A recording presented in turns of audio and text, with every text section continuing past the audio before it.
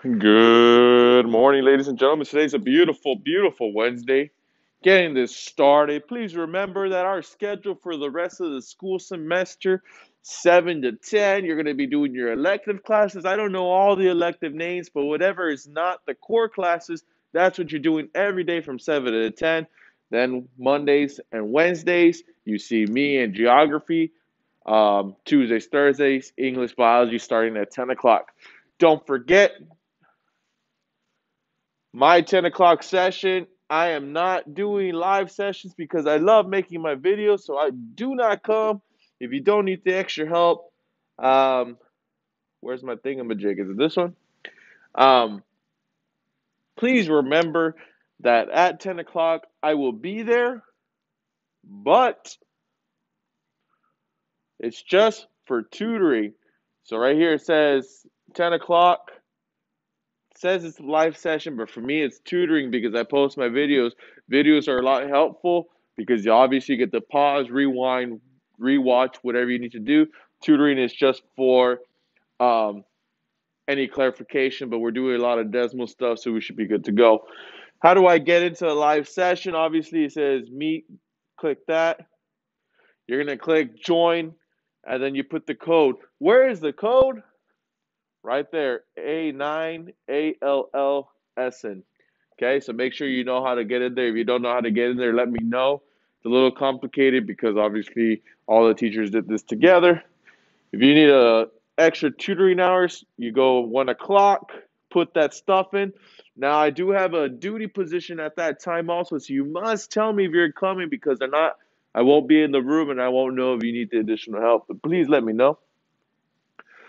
As on for today, there are a couple things we need to talk about. Right now, I'll get the lesson started. Don't you worry one second. Notes, video. If you want to have a little bit of fun, you can do that. Make sure you do the quiz. I messed up on Monday about not having the quiz. Make sure you do this one. I think it's there. Let me double check. Uh, questions. Yes, all the questions are there. Make sure you do the quiz. Make sure you do the quiz and the discussion. And then right here on the very bottom is a very important folder. You're going to click both of these. Now, you click here. Let's talk about the first one. Clever assignment. You're going to click here. Right now, I'm going to have the video to explain what exactly to do. So make sure you click that. And then you'll see clever right here. You click that and then it goes on and on and on. And I'll talk about that in the next video. But let's start with our lesson. Okay, I'll talk about the folder in the video that's going to be in the folder. no worries. All right, let me take this off. Notes. So today we're talking about uh, the solution set of inequality systems. So we're still doing our two lines, but now we're having the shaded regions. I'm going to show you the long version and then the shortcut after the long version, okay? But before we get started, let's remind ourselves what each of these symbols means. Remember, if you have a sheet of paper or something that you're writing your notes on, that's great. If you don't, let's try and figure out what we can do to help you. All right. First, let's name the symbols. You should know, boom, greater than, greater or equal. Why is it equal? Because it has a little line underneath, which means equal to. Right here looks like an L. This is less or equal. Shoot. Next one is greater than. Have we done this before? Yes. This is just adding an extra line. And then this is less than. Remember our shading, let me do this a different color. Our shading is where our line is, whether we shade on the bottom or the top. Greater, that means the top or above. Less, that means bottom. Greater, that means top. Less, that means bottom. Our line type, don't forget, these two is a straight line, or we call it solid. Right here. does not have the equal to sign, so these two are dashed, which is boom, boom, boom, boom, boom, boom. Okay, so we got solid dash. Make sure you know the names, make sure you know where to shade. But of course, using Desmos is going to make our life a lot easier, so don't get too overworked. You don't have to memorize it, but you do need to remember for the future exactly what everything means. All right. Again, I went a little fast right there. I deleted kind of um, quickly, but you can pause it, write it down real quick, and then move on. Okay. Of course, I gave the directions. We're going to graph the first inequality by itself, shade correctly, make sure you have a solid or dashed line, and make sure if you're shading above or below the line. Okay. We're going to do it by hand, and then we'll do Desmos. Probably asking yourself, sir, why don't you just show us Desmos? Well, I can, but that defeats the purpose of teaching because obviously you do need to know it by hand as well. Okay. Looking at this equation, I need to know my slope. I need to know my intercept and I need to know where to shade and the line type. I'm going to highlight the symbol because that's going to tell me what to do. So that one was this one. Make sure whatever notes we wrote right there, you go look at it real quick. And let's do it. What is my slope? It's the coefficient in front of the x value, I go to my x, 3 over 5. That's positive. That looks beautiful. Since it's positive, that tells me that the 3, we're going up 3 spaces, 5 to the right. Please remember this is slope. We did this last semester. You need to reinvigorate your mind on what we did last semester. My y-intercept, my b value, is where it crosses the y-axis through a certain point. Right here, that's going to be my 5. Not just 5, but negative 5 because the minus makes it a negative. Next, we have to talk about the shading and the line type. This is where you come over here and you look for that piece of information. Shading, we wrote that hopefully you put it on the bottom part. The line type was this area, and we should have remembered it's solid. How did I get that piece of information? You should have been able to write down the notes because I'm giving it to you. Pause the video, read what we did, and do it. Okay. And then we go in the specific order to shade. Start with this guy, negative 5. Remember, it's on the y-axis, so I go to negative 5. I'm going to plot a beautiful big point. After that, let's add a couple other points with this slope. Up three, five over. One, two, three. One, two, three, four, five. All right, not too bad. We could actually shade. I mean, we could only put one point. That's perfect. After that, what type of line? Solid. Get my handy dandy ruler. Solid means just a straight line, so I just put a straight line. Obviously, it was dash. It would just be little flechas, little parts. And then we shade on the bottom. Looking at this line, what's the top and the bottom? You should know that, okay, this is the top. This is the bottom. And then boom, shade. We did this before. This is the solution set. Anything that's in here is an answer. We're going to talk about the line right now when we get to the bottom two, but let's double check this. Let's make sure that you got this par. Let's use Desmos. Let's verify that it's solid, that it's shaded on the bottom, and we're going to be good to go. y is less than or equal to 3 over 5x minus 5. Go to Desmos. I have it right here already. Hopefully you do too graphing calculator. Let's put it in. Y. I need this little part to put the less than or equal to is right there. Then let's put 3 over 5. 3 dash 5. Oops, that's a 2. 5. Press the side to put my x minus 5. All right, let's look at it. Oh, I also forgot to fix my thingamajig. Remember, it's a tool. I like to put arrows right here. I like to put one on the step part. There you go. Beautiful. Exactly how we like it. It's a solid line, so that means it's not dash, dash, dash, dash, dash, shaded underneath. Of course, this is a great tool to check your work. I know we're going to have the temptation of, you know what, I'm just going to graph it, graph it, graph it, graph it. But in some cases, we do need to be able to do it on our own. Okay? Let's go to the next one. Clear this. And let's go to the bottom one. All right.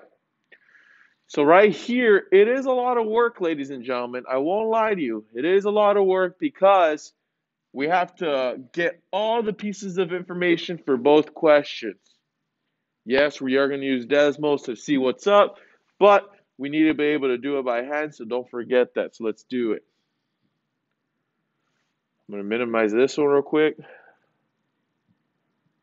I'll make it big again, but I want to be able to have enough room for all the information. I know my all stars, you guys are going to have a sheet of paper so we could write each thing. All right. So for the first thing, we need my slope. Slope is in front of the x, which is 1 over 2. Let me fix that need a better fraction. 1 over 2. Positive up 1 over 2 and then my B is the number in the back, my constant, which is positive 2. That's cool. Next, let's talk about the symbol. Symbol is less than, reference back to your chart, less than. What type of line is this if it's less than or equal to? You're going to have a solid line. Oops. Solid line. Less than means I'm shading on the bottom. Very, very key things. Should we graph this line first? YOLO, let's graph the line first. Remember, you're starting with this part first. Positive 2 on the y-axis. Positive 2, beautiful big circle. I know a lot of us are going to go to Desmos to make sure we're doing this correctly. I really appreciate that. After that, let's do up 1 over 2, up 1 over 2, up 1 over 2. And we should be good to go. Next, I have a solid line. So that means I just get my handy dandy ruler. Solid line means just a straight line. Boom, boom. And then we're shading on the bottom. I can go ahead and do the shading right here.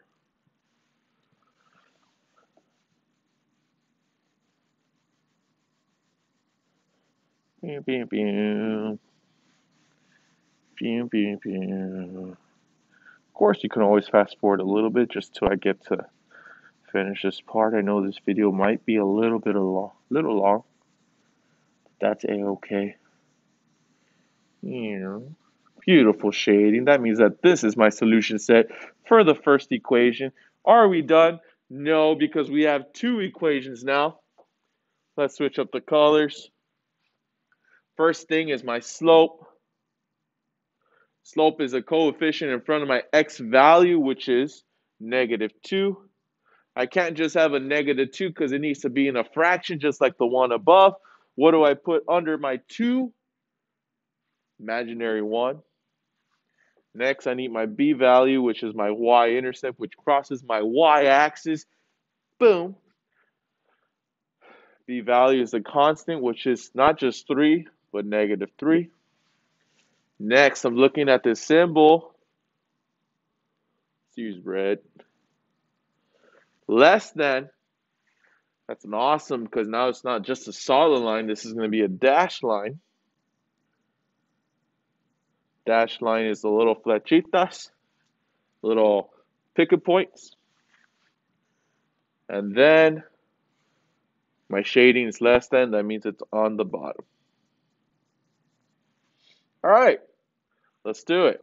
We start at negative 3. We put a big, beautiful point at negative 3 on the y. Bim. Next, the slope is negative, so this is a good one. We're going down and then 1 over. So I'm going to go down and then 1 over. Put a point, and I can stop right there. Get my ruler. Here. Okay. Now dash line, don't forget it's just boom, boom, boom, boom. So getting this line, I'm just gonna go doon, doon. I'm gonna go boom, boom, boom, boom, boom, boom, boom, boom. Dash line, that means that if there's a point on that line, it does not count for that line. It's a, not part of the solution. All right. And then we have the shade on the bottom. What's the bottom in reference to this line? Let me take out the ruler again. So the ruler is right here. What's the bottom? Is it this part or this part? Hopefully you know if I have my line like this and I straighten out my arm, my elbow needs to go like this, right? If I straighten out my arm, what's the top and the bottom? This is the top, this is the bottom. So that tells me this part is the bottom. So I'm going to shade all of this and check this out. Oh, I didn't do what I wanted it to do. Or did it? Oh, yeah, it changed colors. Awesome. Check it out. Hopefully we saw that one part of the shaded region did change colors, which is the solution set for both of my equations. I'm not equations, but inequalities, I'm sorry.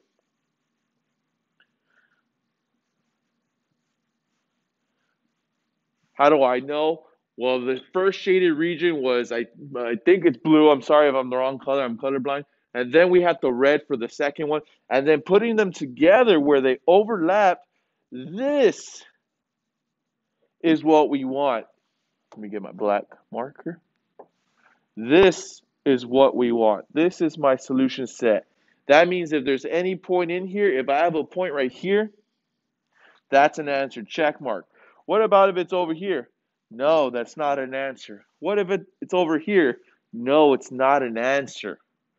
What if it's on the intersection? It is an answer, or is it? That's a very good question. I want to say no, because it's on a dashed line, which is not part of the solution set. That's a very good one. We would probably have to go verify by doing some extra work. Maybe I'll do that for the review on Friday. But this is the key element right here, ladies and gentlemen, making sure that whatever point is here, those are good to go. Okay? For the most part, we're always going to give you questions to double check if it's in this area. But you know what? Hey, sir, I got completely lost. Don't you worry one second. We're going to put these two equations into Desmos. We're going to see how the first one is this, the second one is this, and you'll see the shaded region right here in the bottom left-hand side. Let's check it out. y is less than or equal to 1 half x plus 2. y is less than or equal to 1 half x. Oops, I forgot to do my little thing. Press the side button. Press X. Was it plus 2? Yes, plus 2. We see the first shaded region on the bottom, just like how I drew it. Second equation is y is less than negative 2x minus 3. y is less than, not with the equal to, just less than negative 2x minus 3. Boom. As you can see,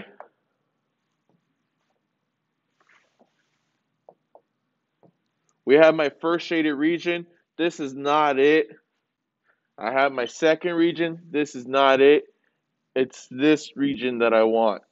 Anything that's in here is the solution set. Any point that's in there, you're good to go. All right. Make sure you also know, because I know some of the questions is going to be just graph it. Make sure you understand this is how it looks like. But what's the most important part is this region. All right. I'm going to leave. Oops. I'll leave you all to decide if you want to do that one. It's pretty interesting because it has a greater than now. Make sure you can try and graph it, understand that the points. I want to go jump to the quiz just to make sure we all understand exactly what to do. Hope everyone's having a growing wonderful day. It's 9:17, so hopefully some of y'all have a had a good morning. Graphing the solution set preview for myself because I don't have to take it. You have three attempts. All right, great. So it says right here which point is in the solution set. Doesn't look that nice, but please recognize that this is the shaded region right here in the middle.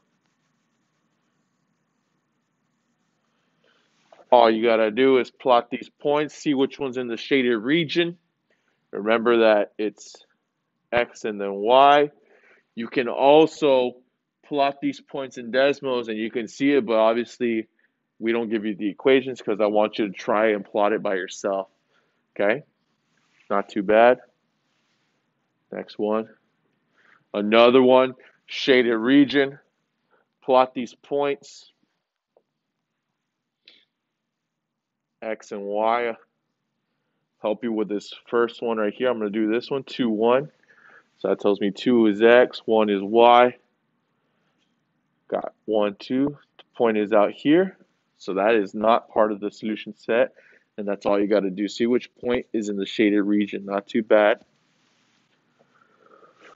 Next one. Okay, right here are the equations. You can definitely use Desmos desmos.com.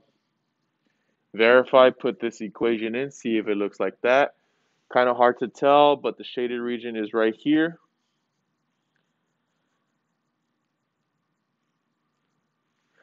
Okay, so you do that one first, then do this one, this one, and this one. Help you big time if you use Desmos, but I understand if you want to be a all-star, you want to try to do it on your own. And then the last one, not too bad. Gave you the first two equations. You can graph it, see which one it matches, and that's the quiz for today. Hope you all have a terrific day. Make sure, oh, forgot. Make sure you go to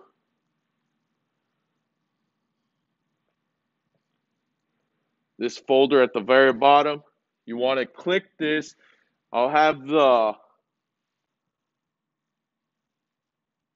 I'll have a video up here in the top explaining exactly what to do. All right, I'll talk to you all later.